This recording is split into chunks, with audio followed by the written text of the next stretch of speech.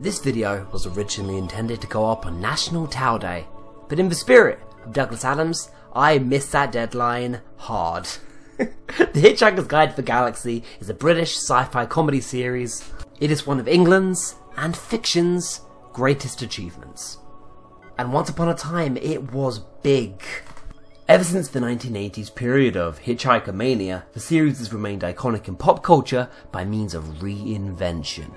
Douglas Adams simply put it, is the master of adaptation. Radio dramas, novels, film, TV, stage productions, even an early form of video game, Hitchhikers has been around the galaxy. And every iteration tells the same story, but not necessarily in the same way. The Earth is destroyed to make way for a space highway, leaving Arthur Dent as the last man in existence. Saved by his friend Ford Prefect, the two of them voyage for stars, escape Vogons, and find out the meaning of life. It's a concept, it's a pitch, it's a playground. Everything else is subject to change. Locations, characters, plots even. Different story beats mingle, return, and sometimes outrightly contradict one another. But more than that, Hitchhiker's Guide to the Galaxy was the first precursor of the multimedia franchises that dominate the world today.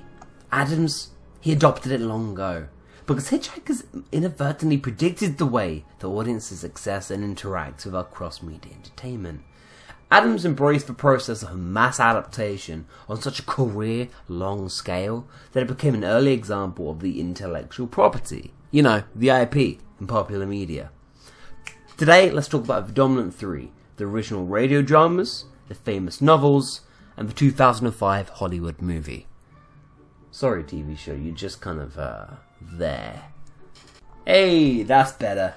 The career of Douglas Adams is a rare example in literature, film, and radio, an author exploring the creative ramifications of retelling the same story throughout a man's entire career. Never afraid to reformat media into new media, Adams had something of a reputation for recycling. No medium or technology exists in a vacuum. The development of one medium informs all the others. Hitchhiker's story deviates from a given medium by actively resembling other forms of media. The movie takes sections that make it revert to a written word encyclopedia. The radio play is prose, merely brought to life by a performed recital. Even integrating a narrator into a BBC radio drama was an unprecedented decision for the time. That just wasn't done. But that one tiny decision of having a dry, British voice and narrate the guide give the entire series a distinct voice and personality. And whoever plays that voice, be it a Stephen Fry type or a Stephen Hawking type, it's always Douglas Adams' vivid voice speaking through them. And he is the one unifying factor tying all of Adams' work. It isn't the universe or the characters, it's the tone and words that Adams speaks in. That voice you read all of his work in, that one detail unknowingly planted the writer into a position of authority. That voice is Adams, and Adams himself has now become the series. The technological versatility of the series would therefore secure Adams as its auteur, an integral component of the franchise. But you can't narrate a film, because the film's natural default narrator is the camera. In 1957, George Bluestone published Novels into Film, and although this book is largely outdated and almost hanging apart, guy speaks a lot of truth.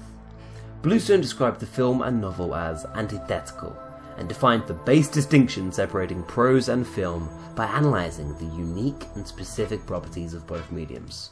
Bluestone claimed that film could not project metaphor or thought due to its external trappings. The film, by arranging external sights for our visual perception, or by presenting us with dialogue, can't lead us to infer thought, but it cannot show us thought directly. Thanks, Bluestone. Love you, babe. Micro features such as cinematography, acting, and expression are supposedly incapable of transferring thoughts and character psychologies. Uh, bullshit, can I just say there? A film is not thought, it is perceived fair enough, but cinematography kind of has a language all upon itself. It's designed to lead a viewer, directing their focus. Time, on the other hand, does work differently. The novel can have a kind of like temporal vagueness to it, whilst the movie has to bridge the gap between spatial representation and non spatial experience with cinematic devices, like the flashback. The film has to operate on chronological time. Films cannot channel consciousness or represent dreams and memory as the novel and audio drama can. But that's not just in the visuals. CGI escapes serve the novel. A true test of the differences between page and screen is the story's pace. The novel has three tenses, and the film only has one. In its less restricted mediums, Adams never felt the fast paced demands of sci fi. Many of the series' most iconic moments are often in the funny sides or contained within small patches of absurdity. Douglas Adams' writing style was purposely meandering, drifting between narrative and comedic rants and observations and treating both of them with the same urgency.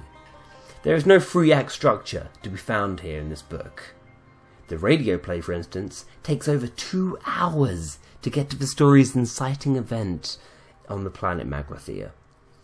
Pacing just works differently in other mediums. A novel is physical, allowing a reader to set their own pace. That's the power of the book. It's physical, it has a staying power all of itself. The radio drama is perfect for portraying abstract concepts and sights that were never designed to be visualized. The movie has a bunch of strengths of its own and a lot of weaknesses, but I'd say the standout elements of the 2005 film are microfeatures that Adams couldn't possibly be given credit for, like the practical effects of Hammer and Tongs. They're unique to the capabilities of a Hollywood film the perfectly cast leads and the killer soundtrack, they're all cinematic strengths, and the plot is largely secondary. Douglas Adams didn't actually write the final screenplay of this movie, by the way, nor did he live to see the release of the film, and yet his personality somehow still hangs all over it. How does that happen? See, Adams only ever saw himself as a screenwriter, but uniquely during the show's creation was a writer who inserted himself into every stage of development during the series' early radio production. He's now a famous name, Adams used his unmistakable narrative voice and authority as an auteur to imprint himself upon every adaptation of the series. The TV show, the comic, even the goddamn stage play we don't talk about. Everybody seems to forget that these weren't created by the big man himself. And yet, he's all over this book. The movie ends with a giant picture of his face in a film that he didn't contribute really anything to. Every piece of Hitchhiker's media is obsessed with this man. He is everywhere, and it's not licensing or part of the book's core identity, it's genuine affection. It's lovely. Hmm, how do I say this? J.K. Rowling isn't loved. Harry Potter is loved. When people say he was a beloved author, they mean it. Adams' own series was more popular than he was, but that series is so familiar, quaint, friendly, that you feel like you know him. I never got to meet Douglas Adams, but every single person who's read one of his books could swear they've been in his mind. Hitchhiker's Guide is integral to Douglas Adams, but that doesn't mean it's his, does it? It is unheard of for the original creator, the screenwriter, to have this much agency from adaptation to adaptation to adaptation. How can one man be responsible for every stage of production on a big budget movie? How can we credit a writer as the sole contributor in a comic? Adams is the definition of an auteur, and actively embraced its benefits throughout his entire career. Adams lived through the start of an age of transmedia franchising. Other sci-fi franchises such as Star Wars and Marvel have generated huge success by capitalizing on interlocking multimedia products. Many of the largest contemporary blockbusters have been indirect adaptations of successful novels, comic books, and story arcs. I'm not saying Douglas Adams did it first, but he did a version. Successful blockbusters in turn will generate popularity and encourage spin offs, continuations, and even reverse adaptations across the very mediums that the film originally stemmed from. The current market for entertainment ensures that if content is successful in one medium, then it can be and should be adapted to another, not so much for the novelty of the piece, but for its market value. That was Henry Jenkins, and Henry Jenkins defined this development as convergence. This is a trend predicted by the late Adams, quickly adopting the early internet and video game technologies as they emerged. But Hitchhikers used its popularity differently. Most multimedia products do so to promote franchise synergy between their media platforms. You know, Star Wars. Incentivizing fans to collect and therefore complete a constantly expanding story. Adams never sought to hook audiences this way. His series had a very definite endpoint, and he always reproduced a familiar story with similar plot beats. The 1984 Infocom game, for example, is purposely misleading and punishes fans for displaying existed knowledge of the series. Whilst this is funny and fucking frustrating, this also displays Adams' contempt for any kind of mythos or lore. It is apparent that despite its multimedia success and worldwide popularity, Douglas Adams never considered treating Hitchhikers as an IP. If such a thing exists, then Hitchhikers exists as an example of intentional, artistic media convergence. Rather than just branching a story into other mediums for relevance or commercial gain, the experimental Adams sought technological justification.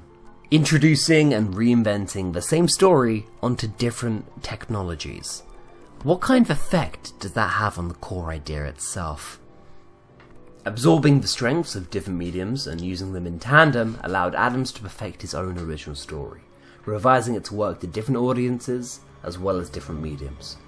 Although rarely capitalized on or spoken about, the adaptation creates an opportunity that allows for intensive author retrospection. It's just an opportunity that many authors don't take advantage of because they're too busy villainizing the film adaptation that they so hate. While Douglas Adams ruminated on his story for decades, viewing his episodic ideas as a constant work in progress. And to me, that's why he's different. An author will tell you that a book is superior. A director will tell you a film is superior. But Adams fought for years to get this film made. It's a common demand of pop culture to decide a preferred version of any common story. For the sake of consensus or viewing brevity, usually this role was reserved to either the most recent or popularly accessible version. If distributed by a major studio with an influence over pop culture memory, this is most commonly the feature film. Suddenly, this becomes a pertinent question to ask. Is there a definitive version of The Hitchhiker's Guide to the Galaxy? Well, from a post structuralist perspective, stories are an open platform. Literature is irreducibly plural, an endless play of signifiers which can never be finally down to a single center essence or meaning. Boom! Under this context, all texts have no objective univocal meaning and the audience of text has their own agency to decide. It's an inconsequential question, but it is a habit of culture to enforce a need to find, to seek out the true version. Over the course of Hitchhiker's lifespan, fans, critics, and cultural memory at large have favoured the novels as the predominant superior form of the series. And that's fair. They're great books. A 50 hour novel stays with you. It achieves a certain kind of density. Whilst the 2005 movie, the product with the least amount of Douglas Adams' contribution, is also the least popular. Is that a coincidence? To understand why the novels are considered the preferred medium is to understand what the specific audience values in Adams' work. And that is Adams himself. Although almost identical to the radio screenplays, the novel incites an atmosphere of intimacy with its reader. The process of reading a book could be viewed as purer due to a lack of outside interference. Although Adams was actually met with much creative interference during the writing of his five Hitchhiker's books, from an outside perspective, it seemed like the purest distillation of the man himself. And at the end of the day, that's all people are coming to this series for. The film is a weird one, because even if you were to apply auteur theory and only assume that one person is the creative driving force, the film had one, and it wasn't Douglas Adams. It's hard to think about how much first time director Garth Jennings was completely overshadowed by Douglas Adams. Even in his death, Douglas Adams was assumed into the role of creator, a film that he had almost nothing to do with. they kept a couple of Adams' new ideas for the film. He's been assumed into the role of auteur, because the auteur brings comfort and mission to many readers. There are just an influx of people who have decided that this series belongs to one person and one person only, not realizing the amount of influence those people hold themselves. In interviews, the 2005 film's producer Robbie Stamp claimed that the series was never intended to be a series that adhered to any strict sense of fictional canon. Despite this, a fandom community is still liable to pick and choose the, the elements that they want to dismiss. Because cultural memory is nothing if not selective. The final installment in trilogy of five was mostly harmless, and this book is controversial. An older Adams purposely plays outside the comfort zone of his reader, teasing characters and elements that could create a typical and satisfying conclusion, before abruptly ending the series on a dark climax and killing all of his characters. This choice justifiably bruised his readership, and was reportedly influenced by a depressive turn in his personal life. Despite this, it remains the key authorial intent. With the death of Douglas Adams in 2001, colleagues and fans alike slowly began to question that finale of Adams' final words. Dirk Maggs, director of the later radio series, would go on to play with the ending. In the final story, Adams introduced the concept of a multiverse, parallel dimensions beyond human comprehension, where different events could take place. Cleverly using this, but not quite retconning it, Maggs incorporated the element into the final episode of the radio version, that operated within the confines of the canon to create more satisfying versions of the finale, presenting fans with the ability to choose between medium specific events and creating a rare sense of reader agency over their story.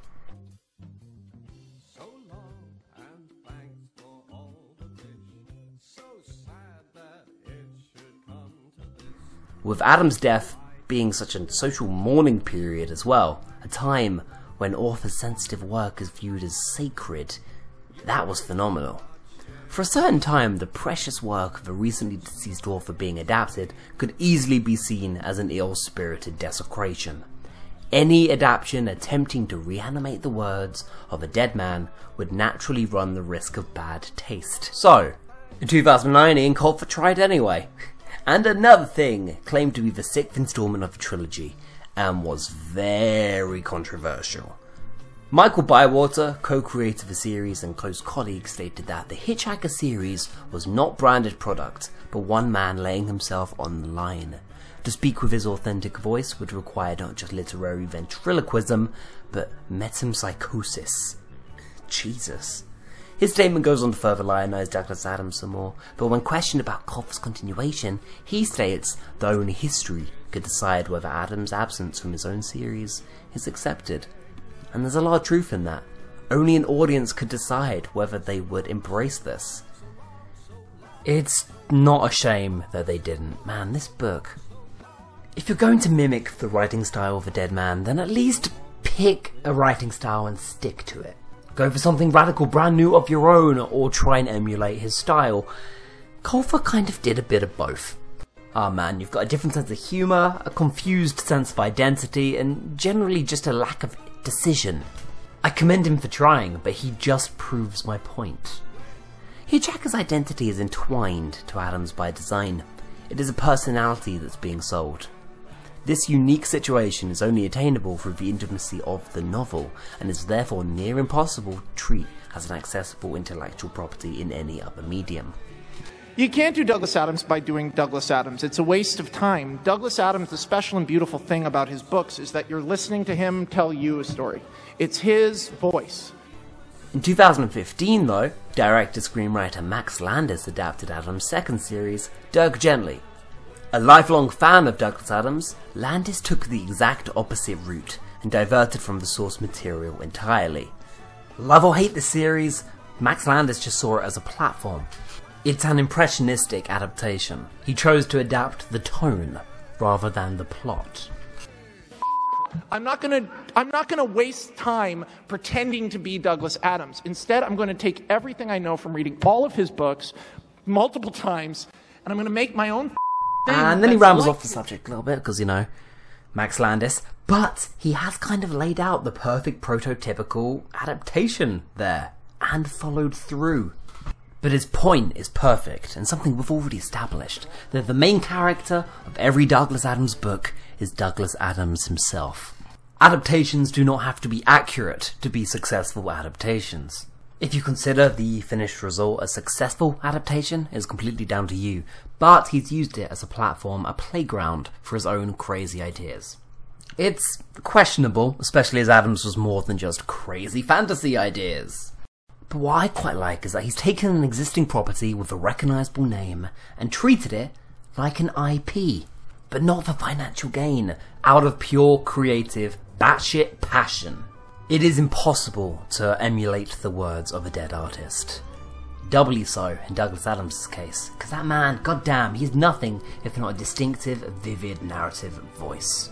In the end, Hitchhiker's success is due to the series' inbuilt flexibility, a flexibility that attracts critics, audiences, and new creators alike.